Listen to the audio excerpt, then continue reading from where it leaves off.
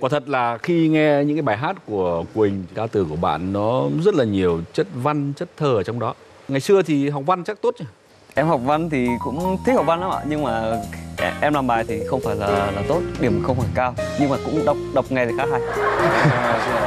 Có lẽ là nói chuyện văn ấy muốn mời Quỳnh cùng vị khán, khán giả là xem là một thầy giáo dạy văn đánh giá thế nào về các bài hát của Phan Mạnh Quỳnh. Oh, Xin mời. Yes, yes. À, xin chào các bạn, hôm nay tôi sẽ à, cùng các bạn ôn tập một à, phần tiếng Việt rất hay Đó là ôn tập các cái biện pháp tu từ được sử dụng Và ngữ liệu của ngày hôm nay chúng ta sẽ à, phân tích đó là những cái à, câu thơ, những cái câu hát trong những cái bài hát của ca sĩ, nhạc sĩ Phan Mạnh Quỳnh à, Nắng khắp lối nhưng đây các bạn thấy sự đối lập giữa một bên là nắng ở mọi nơi Nắng là biểu trưng cho những gì vui tươi, những gì rực rỡ còn mây răng kín lòng đây là mây lại răng kín lòng biểu tượng cho những gì nó u ám. Sự tương phản giữa một bên là ngoại cảnh và một bên là nội tâm. Ở mây răng kín lòng tạo ra cảm giác rằng cái nỗi buồn nó u ám nó răng kín trong à, sâu trong cõi lòng của người con gái. Ấy vậy mà chàng trai vẫn có thể hiểu được.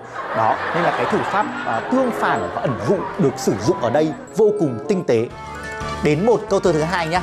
Dịu êm hồn đã khô hồn đã khô là biểu trưng uh, ẩn dụ cho cái tâm hồn uh, dường như đã chai sạn đã mất đi những cái cảm xúc của tình yêu thương. Dẫu dẫu này không có đôi mắt giống mùa thu thì là thủ pháp nghệ thuật gì? À đây chính là thủ pháp nghệ thuật so sánh.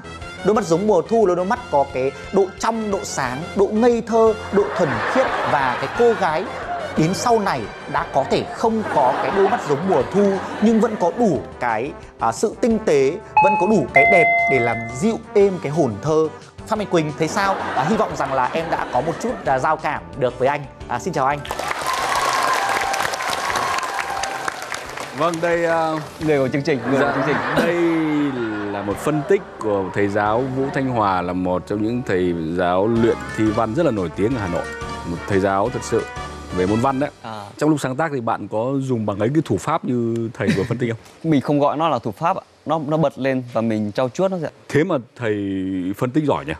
Vâng, không nhưng mấy cái này bạn ấy nói đúng rồi đấy ạ. Nói ra đúng là em đúng đúng ý của đúng ý của của em luôn. Vâng ạ. Bây à. giờ nói thì có vẻ khán giả nói ừ ông này ông thấy ông kia nói hay quá thì ông nhận nhưng mà thật sự là thì cái cảm nhận của mình đúng là như thế. Là đúng ạ. Nhưng quả thật là giỏi thầy giáo.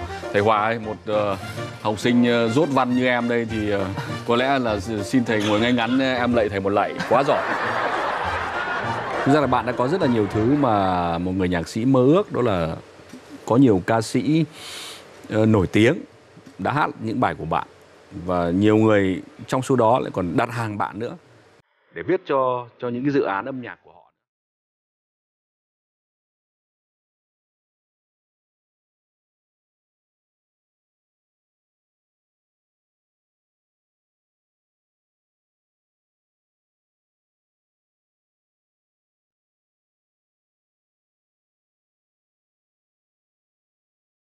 tình buồn không phải lúc nào cũng chỉ để quên đi.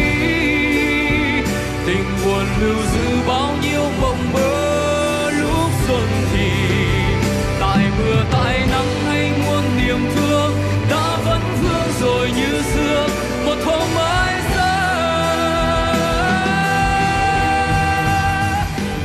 tác với những giọng ca rất được yêu mến như thế rồi rất nhiều những bài hit như vậy thì uh, Quỳnh có thấy có áp lực gì không? Trước hết mình phải vui, mình có sự tự hào trong người và nó thúc đẩy mình tiến lên lắm ạ. Còn áp lực thì em nghĩ cũng chưa chưa cảm nhận được.